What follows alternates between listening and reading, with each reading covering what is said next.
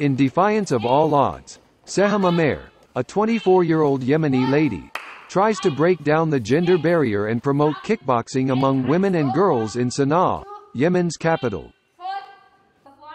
Seham Amer is one of the first female kickboxing athletes in Yemen, and also one of the pioneers who are dedicated to training women and girls in martial arts, which is widely considered a masculine sport in her country.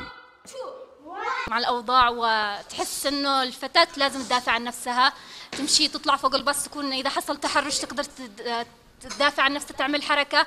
آه، لو مشت بالشارع يعني تحس آه، الالعاب القتاليه تقوي الشخصيه تقوي الثقة بالنفس.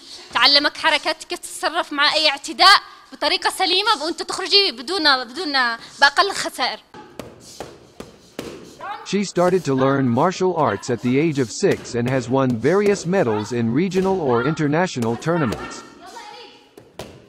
However, the war pressed the pause button on her career as the years-long blockade prevented her from participating in competitions abroad.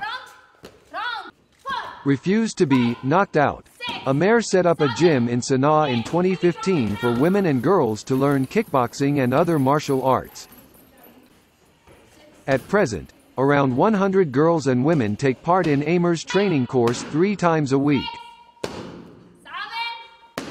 انصح الفتيات في الالتحاق بالأكاديمية الدولية للدفاع عن نفسهم لأنه نضطر نخرج العمل للتسوق لأي مكان فتدافع عن نفسها وما ما تحتاج لشخص آخر وكمان لإفراغ الطاقة السلبية ول...